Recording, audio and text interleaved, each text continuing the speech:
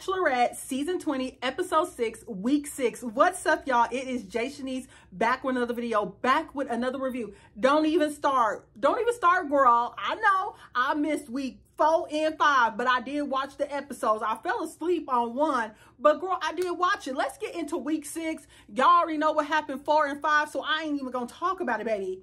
I ain't even gonna talk about it. But I got a complaint with the Bachelorette Nation and Bachelor Nation. Why can y'all not keep a secret? Why is it always coming out with who they already chose? Y'all love to ruin a show, don't y'all? Y'all love to ruin a show. Don't you? I'm so sick of y'all. Let's get into these hometown dates. Now, I'm going to tell you straight up. I wasn't really a fan of Aaron B. After he was snitching and kind of acting like her daddy, her brother, her family. I didn't really like that.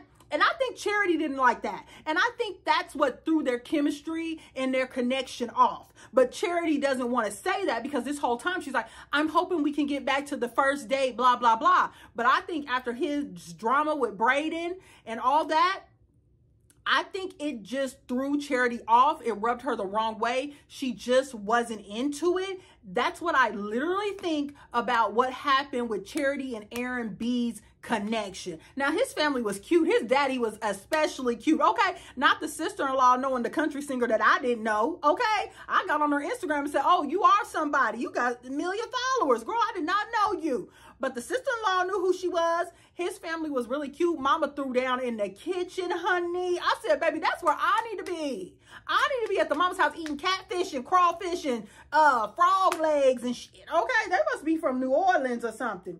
They say he has not brought a girl home in 10 years. His parents do not play that. Don't bring bringing no girlfriends around here. You better bring your fiance or, or wife, okay? That's just period, okay? His mama asked her, like, if my son proposed to you, would you say yes? And she said no. And I instantly was like, oh, she don't want to be with Aaron B. she don't want to be. I thought Aaron B was going to go home last week because I was trying to get rid of him last week, but she kept him for hometowns. She kept him for hometowns. Um, let's see. His dad is cool. They had a football date. They did a little football day, Letterman jackets. It was really cute. She's like, it's like Friday Night Lights. And he played that girl's Lauren or whatever, her country song. She's like, oh my God, this is a song we dance to. And I was like, mm-hmm. you know, her laugh. And I was like, girl, whatever. He picked her up. He said, I'm falling for you. And she was like, oh, really? You're so cute. You're so cute. And I'm like, Aaron B, it ain't there. She was crying hella hard. I said, girl, is you crying because you ain't going to choose him? Are you crying because you ain't going to choose him? She was crying hella hard. I was like, girl, why are you crying so hard? And maybe she was crying because she knew the connection wasn't there. It hadn't been there since he was tattletelling on Brayden. That's all I'm saying. Aaron B did not have a chance after he tried to uh, be her daddy. Don't no girl want to stay daddy. And that's just period. Don't try to tell me what I need to do, who I need to date. Let me figure it out myself. Let me go around and find out, okay? On to the next. Joey. Let me tell you, Joey's uncle, Joe, Joe is not sold on this. He ain't a fan. And let me tell you something about Joey. I just didn't like that he said he ain't never dated no black woman. And I was just like, mm, I don't like that. I just am not a fan of that. Like, do you like black women or will this be a fetish thing? Because you know what? As a black woman, I've dated a few white boys that I think it was kind of a fetish thing. And I was like, I have to watch out for that. Like, is do you are you attracted to us or are you wanting to us? See, that's a whole different that's you know what? We'll talk about that another day. But for real, y'all black girls, watch out for that. And you know what? My white girls watch out for that and all my other races girls watch out for that. Because sometimes you can be a fetish. You can be a fetish to your own race of man. You don't want to go there. But anyways his uncle wasn't sold. His uncle said he's a people pleaser. And i was like oh is he a people pleaser? Is he just trying to win? Because you got to think he is a tennis player and competitive. So is he trying to win the game Period. It's Joey trying to win. But she kept saying, I want to tell Joey I'm falling in love with him. I want to tell Joey I'm falling in love with him. Let me tell you, I didn't like Joey's date. You just took her to the uh, play tennis. You know you got a membership there. You didn't put no thought into y'all date. Tennis, Joey. Like, you could have did anything else but tennis. I know you like tennis, but it was like nothing special about it. You know what I'm saying? His sister Carly said she liked her. The mama was cool. The mama was crying. I was just like, girl, what are you crying for? Like, what are you crying for? Uh, let me see. And then, okay, Charity said, did she say she never dated a man outside her race? Or did she say she never went to one's house? That's why I was getting on that fetish part. Because I'm like, girl, you definitely, girl, bye that energy you give us, baby, stop it. You definitely have. You might not went to his house because you are a fetish, but don't don't play like that. Don't do that. Don't do that. And she was crying when she said goodbye and all that. She never even told him that she was falling for him. You know, he already told her he was falling for her. But I think Uncle Joe might have a point. Uncle Joe know him better. It seems like Uncle Joe know him better than his own daddy know him. Or was that his stepdaddy or was that his daddy? Because I'm just like, who is Uncle Joe? Uncle Joe is involved. I had to make sure Uncle Joe was married. Because I said, Uncle Joe might be one of them bachelors forever. And you don't want your man hanging out with his bachelor forever uncle. But Uncle Joe was married. Mm-hmm. But I trust Uncle Joe. Uncle Joe said he called bullshit. Basically. He Without saying it, he said he called bullshit. Joey is a tennis player. He's just in a competitive mode. He wants to win the goddamn race. He wants to win the tennis match, okay? Shoot. She almost hit him with a tennis ball. I said, girl, watch out. Ooh, she, I'm all flirty and giddy when I'm with him. I was like, ooh. Ah. On to the next, Xavier. Let me tell you something about Xavier. She is sexually attracted to Xavier. I know Xavier might look like one of her exes or whatever. She wants to jump Xavier's bones. I know y'all feel like, Jai, stop it. She do. She want to jump his bones, baby. And so do I. How old is he? Oh, about 10 years younger than me. That's all right. Can show him what it's made for. They went on a cute date to the yarn store and they um he was showing her how to knit. They was in a knitting class. They was kissing. They was flirting. I said, see, this is what I'm talking about. Girl, he had knitted you that little scarf or whatever he had knitted you. It was cute. His family was super cute. I love, like I say his family was my second favorite because you already know who was my favorite, them Nigerians, because you know I love me an African man. Anyways, listen, listen, listen. They said the people at the knitting class were like, he's so patient with you. You want a patient man. You want a kind man. Okay, period. Ain't that what the Bible say? That's what people say. I ain't read the Bible since I ain't been in my mama house, child.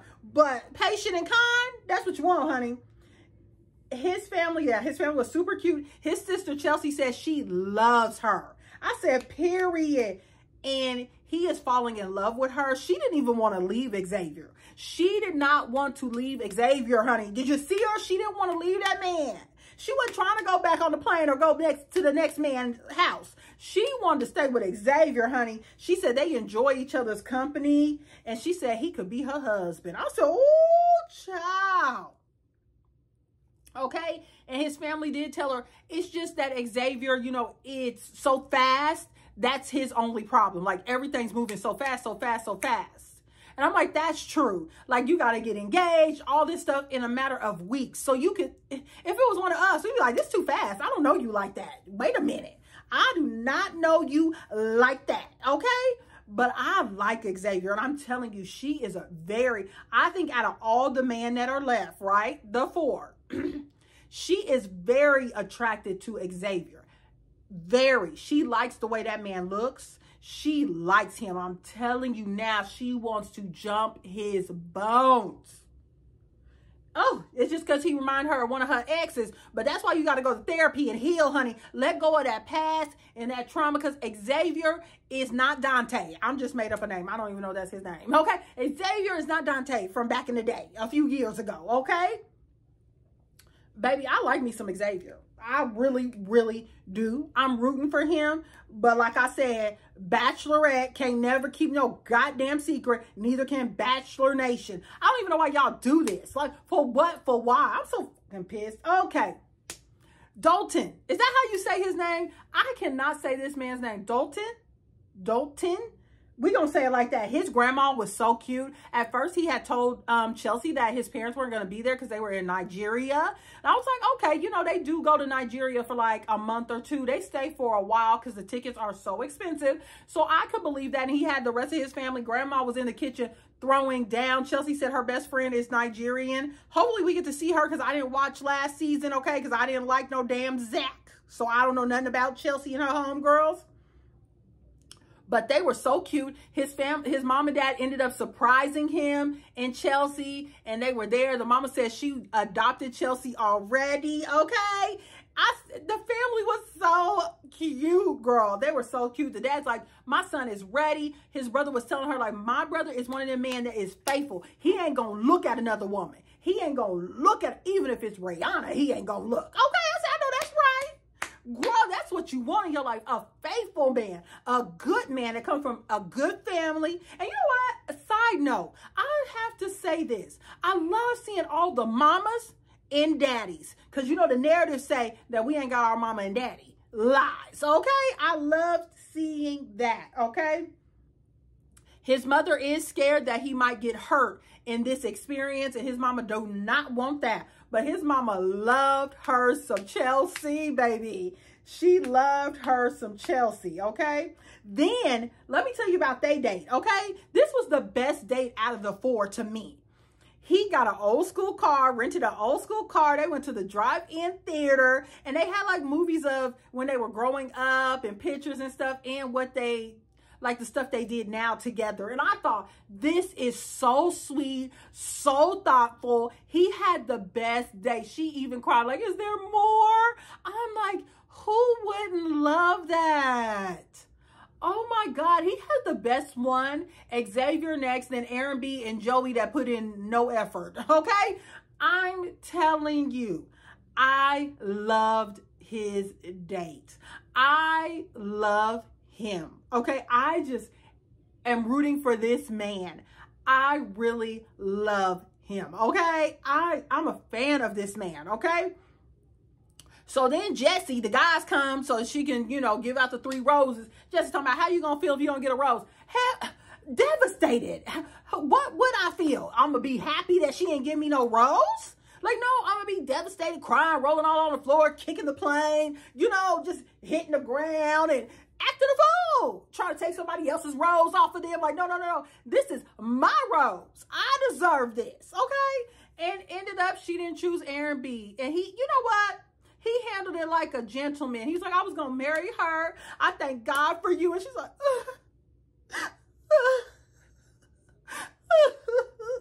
Aaron, I'm sorry. Maybe I sent the man I love home. I was like, you know you don't love no damn Aaron B. Stop it. You cut it out. You ain't loved Aaron B since him and Brayden was getting into it. Stop it. Okay? So we got our top three. Joey, Dalton, Dayton, Dalton, Dalton, and Xavier. We got our top three, okay? I don't know who going home. I almost think that's Xavier going home because he done got cold feet and he might not can propose. That's what I'm thinking because, you know, he kind of been like, shaky a little bit. I think if they weren't on the show and the cameras and stuff, I think they would be good. But I feel like that's who got in that car and went home. And then who surprised her? Is it her friends? They're trying to make it seem like it's a man, but I'm like, is it her friends? Who is it? So I would like to see, or her brother. I don't know. They're trying to make it seem like it's a man. Like, is it Aaron B? Is it Brayden? who is it? But I don't know. It could be friends, family, or something like that, you know? As long as it ain't Gabby and Rachel, I'm good with that too, honey, okay? But that was it with the episode. That was it, honey. Like, share, comment, subscribe. I'm sorry I haven't been posting about Bachelorette. You guys, I've been doing Love Islands. If you know me, you know Love Islands takes a lot of my time. And I am so sorry about that, but I'm figuring out a balance about this. And y'all seen The Golden Bachelor? I said, ooh, I hope it's some old hoes tripping on there. I don't want nobody 20, 30, uh-uh, baby. I'm so ready for this. Okay, I am ready for this. And when Bachelor in Paradise coming on?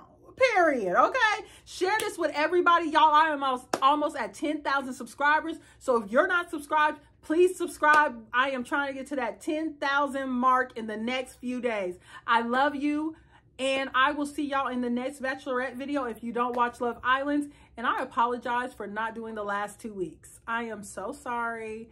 That is messed up because some of you guys subscribe to me for The Bachelorette. And that is my fault because I get overwhelmed with Love Island. See you later. See you next time. Bye. Love you.